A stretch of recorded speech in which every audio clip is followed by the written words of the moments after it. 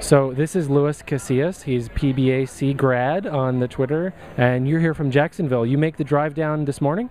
Um, yeah, just came up this morning, so nice little drive. I actually moved back up to um, Raleigh Durham, so to come down for Bar Camp Orlando is pretty awesome. So I made it, the drive from Raleigh Durham yesterday, left there around noon, slept last night, and then drove the rest this morning. Well, that's dedication. Great group. And for a bar camp, and I mean, we do have an awesome bar camp, but thank you very much for that. What have you been seeing today? Have you been in any present presentations or have you been participating in something that just like blew your mind?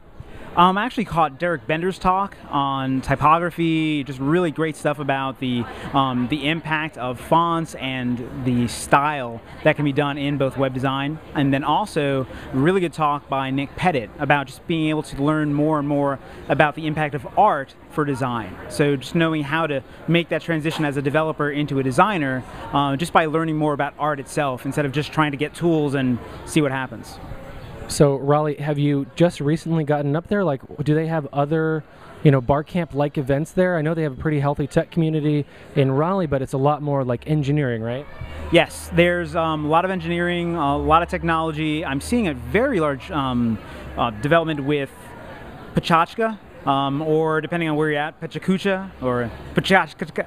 Anyway, um, they have Ignite talks, other Lightning talk formats, um, social media club in that area, the Triangle. They have Refresh the Triangle. So they've got a lot of great events going on. They also use Meetup a lot more than I had expected.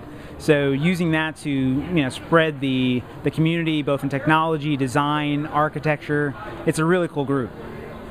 Awesome. Thanks, Luis. Do you have anything that you would like to plug while we're here on the video?